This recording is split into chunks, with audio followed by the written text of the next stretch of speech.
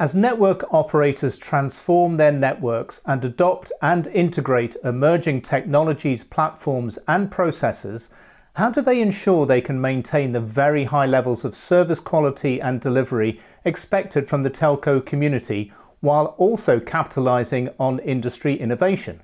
Well, to find out, I'm talking with Gavin Duckett, Global Customer Experience and Support Director, Communications Technology Group at Hewlett Packard Enterprise. So, Gavin, great to talk to you today. Uh, can you tell us about your industry background and your role at HPE? Okay, of course, thank you. And it's good to talk to you too. So, I started my career quite a long time ago now as a software developer, um, working on mission critical software in various industry sectors. I then spent around 10 years working for one of the, the UK's large telco operators, um, particularly working in the OSS space.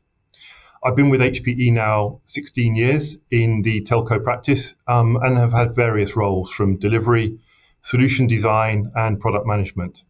I've been in this role now for the last two years, looking after customer experience and support on a global basis for our telco software and solutions. Okay, fantastic. Um, now, telcos operate on five nines reliability or better. How does HPE meet their needs in this respect on a global basis? So for me, that works best if we start to look at the beginning of the journey that we have with our solutions and with our customers. So we start by looking at how we design in supportability to our products as part of the product development lifecycle. So my team will engage with our product development organization, our R&D organization, and sit alongside them as we take our products through the release plans to ensure that supportability is part of what's designed in and that my team understand the product as it comes out and is made available to our customers and are in a position to support it. And of course, we have global reach. So we have a team of experts sitting across the world who are able to take the calls 24 by 7 and respond to the obligations we take for our customers. Now, uh, telcos have traditionally been cautious about updating software releases to the latest versions using the uh, if it isn't broken, don't fix it approach.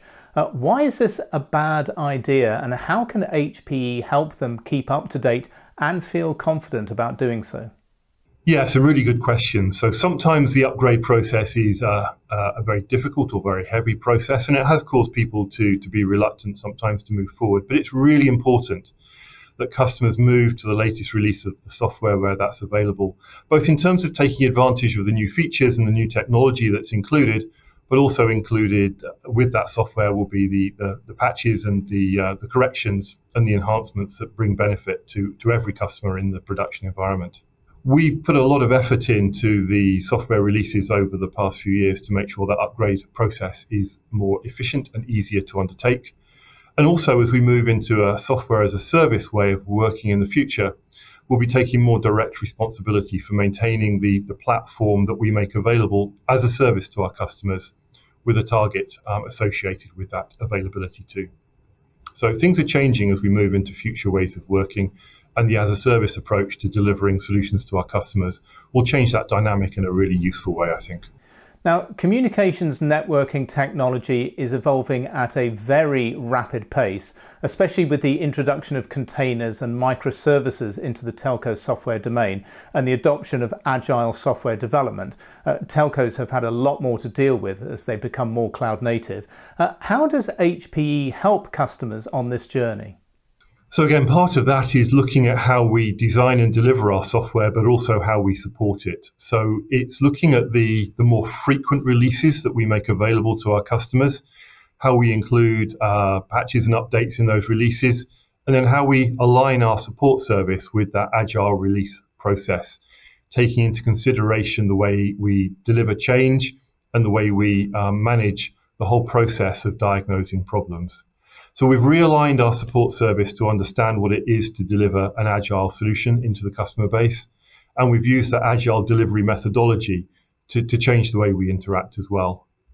It also means that solutions are sometimes broken into smaller components, which we're able to deal with in, a, in an isolated way. So the microservices, the, the containerization, the efficient way of delivering, it changes the support dynamic in a way that will be useful, I think, in the future for our customers in terms of offering flexibility and maintaining the service that we deliver with less and less uh, production and operational impact as we do it.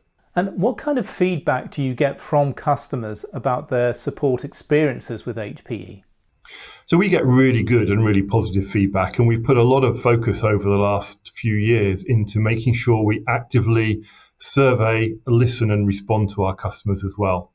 And our customers can be confident if they take the time to respond to our requests for feedback that we take it really seriously, both in terms of following up on any suggestions they have to make, but also looking at where we get positive feedback and what we can learn from that and how we can use that experience internally to ensure that we consistently deliver a great service. So I'm really proud of the feedback the team get and the way we deliver to our customers. And again, would encourage our customers to take the time to provide that feedback because we really do take it seriously and we value it too.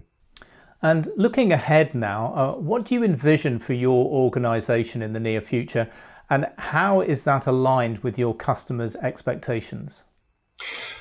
So I, I, think again we've we've talked about as a service, we've talked about agile. We'll see more and more of our customer base and our portfolio moving in that direction. And it's about making sure we continue to evolve the support service we offer and the commitments and the obligations we make as well to align with our customers' needs and the way that software and solutions are being developed, delivered, and maintained in a customer's operational environment. So for me, this is around a process of continual change to evolve, to adopt new technology and new ways of working, and to make sure we can meet the business commitments that our customers require of us in a, an efficient and effective way. So a process of continually evolving to meet the market need and to keep our customers in a position that they can deliver against their commitments to their customers too. Absolutely, lots of uh, change going on in the industry, but but really important change, uh, all designed to help everybody to get a better experience. Gavin, great to talk to you today. Thanks very much for joining us. Thank you very much for the opportunity.